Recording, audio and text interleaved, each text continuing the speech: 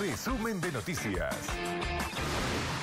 Repatriados, 487 bolivianos procedentes de Perú, Brasil y Argentina fueron trasladados en operativos desplegados por el gobierno. En La Paz, Cochabamba y Chuquisaca aseguran que cumplen los protocolos de seguridad.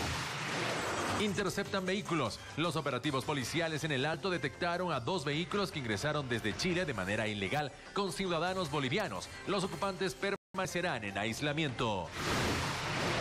Se acaba la paciencia. La policía en Pando advierte que se acabó la permisividad con los que incumplían las medidas de cuarentena. Los arrestados serán trasladados a un campo deportivo y cumplirán sus ocho horas de arresto.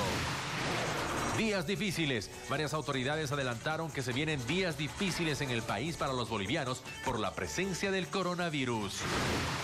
Elecciones. La presidenta del Senado señala que la situación del coronavirus en el país definirá la nueva fecha para las elecciones nacionales.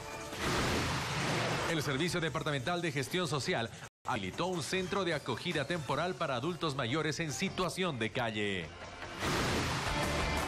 Resumen de noticias.